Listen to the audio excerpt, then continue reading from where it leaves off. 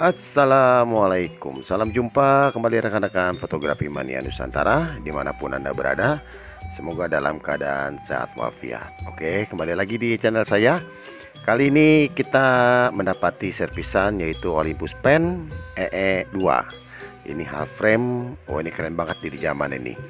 Oke dan ini mempunyai kendala di uh, shutter uh, diaframanya. Jadi shutter diaframanya ini seperti teman-teman bisa lihat-lihat ya. Ini diaframanya bukanya sangat lambat sekali dan tidak mau nutup. Nutupnya ini kalau misalkan eh, apa namanya di engkol lagi baru dia nutup. Dan itu mengakibatkan eh, hasil fotonya semua eh, jadinya eh, terbakar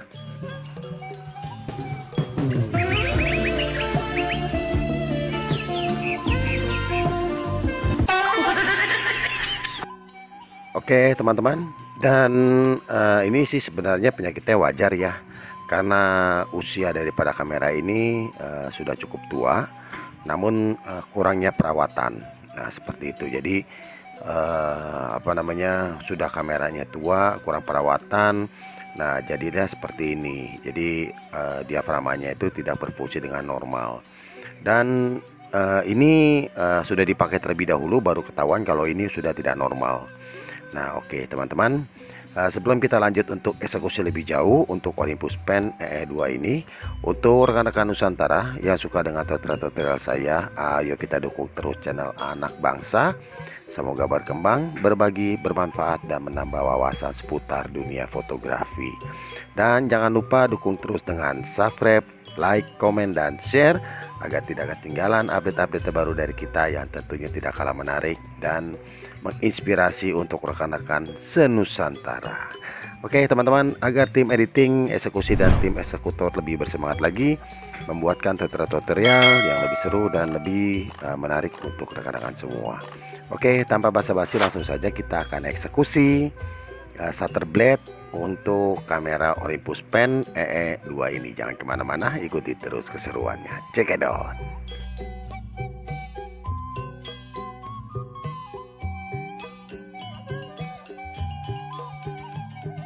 Oke teman-teman Nusantara ini untuk uh, casing bawah dan casing atas sudah saya copotin.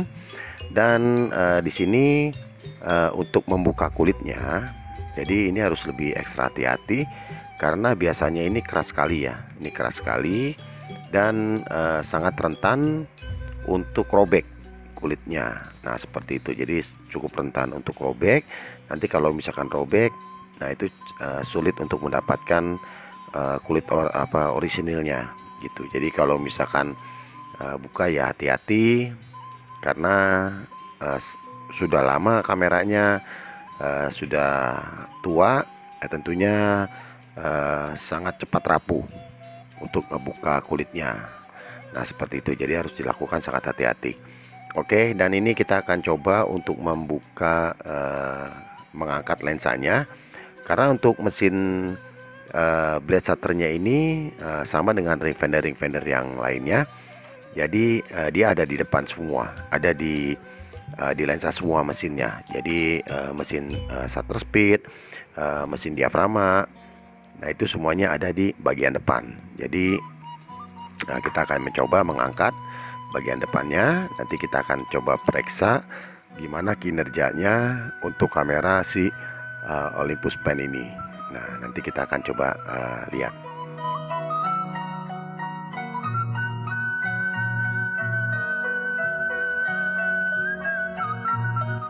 Oke teman-teman Nusantara Sembari kita akan uh, membuka bagian lensanya jadi untuk rekan-rekan Nusantara yang uh, mempunyai kamera idaman atau peninggalan atau simpenan yang bermasalah uh, boleh uh, nanti kita akan bantu uh, cek dan perbaiki untuk kameranya. Dan di sini kami menerima jasa reparasi untuk semua jenis kamera. Baik kamera manual yaitu ada point shoot rangefinder seperti ini ada SRL dan ada TRL nah itu dari semua macam tipe dan kerusakan. Nanti kita akan coba bantu. Dan juga untuk lensa manualnya sendiri itu berbagai macam tipe, merek dan ukuran. Jadi nanti kita bisa bantu juga. Dan untuk kamera uh, eh, DSLR dari berbagai macam merek, tipe dan kerusakan. Uh, terus juga dari uh, mirrorsnya juga sama, baik body maupun lensa. Nanti untuk teman-teman Nusantara uh, bisa uh, komen. Nanti kita akan uh, bahas satu persatu uh, langkah terbaiknya seperti apa.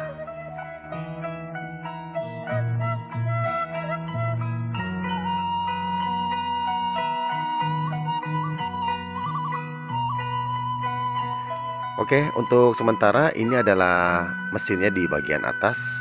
Nah, ini kinerja mesinnya nih. Nah, ini saya coba uh, mencari tahu gimana kinerja mesin daripada si kamera ini dan uh, kenapa kameranya itu sampai tidak bisa uh, blade shutternya itu terbuka dan tertutup dengan uh, normal.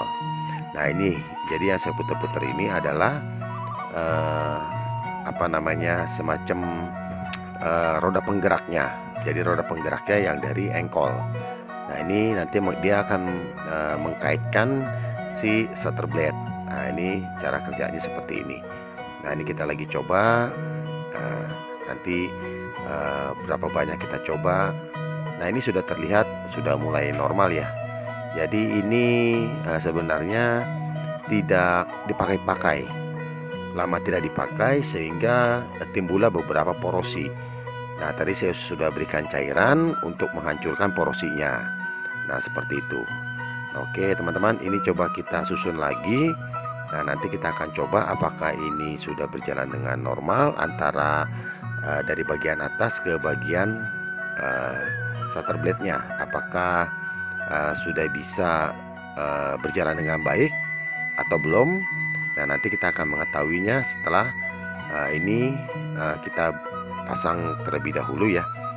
Uh, kita pasang terlebih dahulu untuk mengetahui kinerja dari uh, engkol sampai ke uh, blade shutter kalau misalkan masih ada kendala nanti kita akan coba berikan cairannya lagi untuk mesin blade shutternya ini. Supaya porosi-porosinya bisa uh, hilang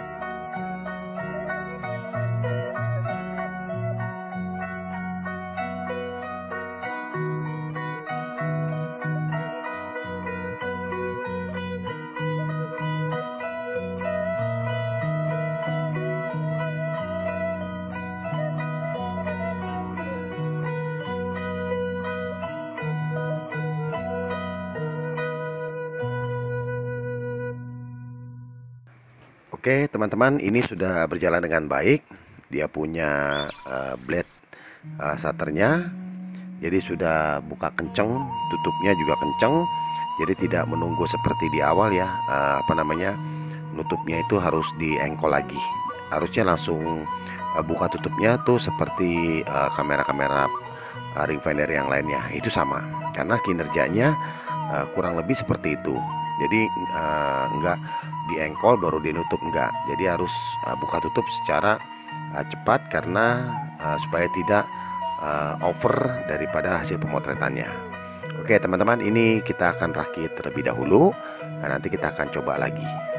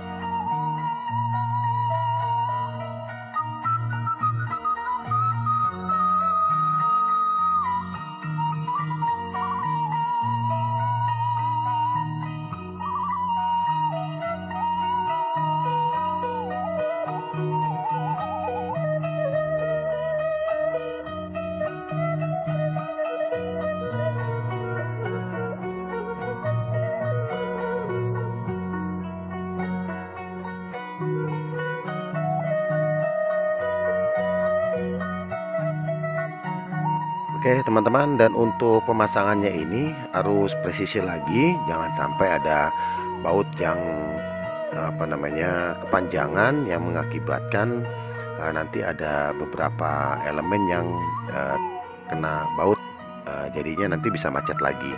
Itu ke satu. Yang keduanya ini untuk kabel-kabelnya ini harus disusun rapi lagi uh, ya nanti takutnya menyebabkan ada salah satu apa fungsi yang tidak normal. Karena apa? Karena uh, dengan terjepitnya uh, apa kabel nah itu bisa nanti menyebabkan uh, selenium ataukah dia punya hot shoe itu tidak berfungsi. Nah jadi harus dipastikan semuanya kembali presisi. Nah seperti itu. Nah ini uh, tadi saya pasang ya ini kurang presisi nih. Nah ini saya rapiin lagi supaya si bautnya itu tidak uh, menyentuh si kabelnya. Jadi kalau misalkan menyentuh kabelnya itu nanti salah satu bagiannya itu entah di bagian mana nanti nggak berfungsi. Jadi udah dirakit capek-capek nah ternyata masih ada yang rusak. Nah seperti itu. Nah oke ini sudah selesai. Dan kita coba masukin lagi pelan-pelan. Nah ini coba kita lihat apakah lubang bautnya sudah terlihat semua nah ini dipastikan di engkol dulu ya. Jadi dipastikan engkol dulu. Nah karena nah, sebelum dibaut semua itu nah, nanti jadi repot. Nah, ini coba kita pastikan kalau engkol dan shutternya ini sudah berfungsi dengan baik.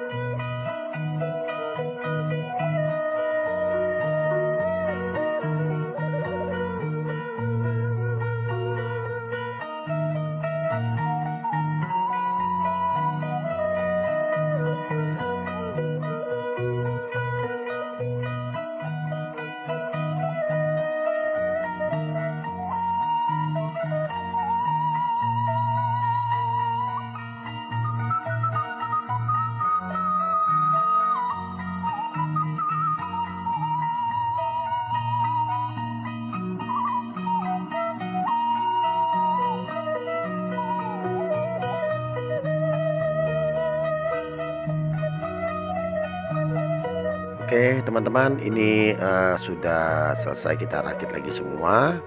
Dan uh, tadi sebelum uh, dibautin semua juga kita sudah cek untuk fungsi-fungsinya. Nah sekarang kita akan mengecek apakah ada baut yang tertinggal ya atau yang belum dipasang untuk memastikan. Nah sekarang kita coba lihat lagi fungsi daripada uh, blade uh, shutter ini. Nah ini teman-teman bisa melihat ya. Blade shutternya ini sudah berjalan dengan baik Oke teman-teman terima kasih ya sudah mengikuti tutorial ini dari awal hingga akhir.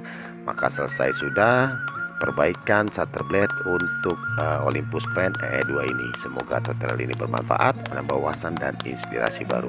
Sampai di sini terima kasih dan wassalam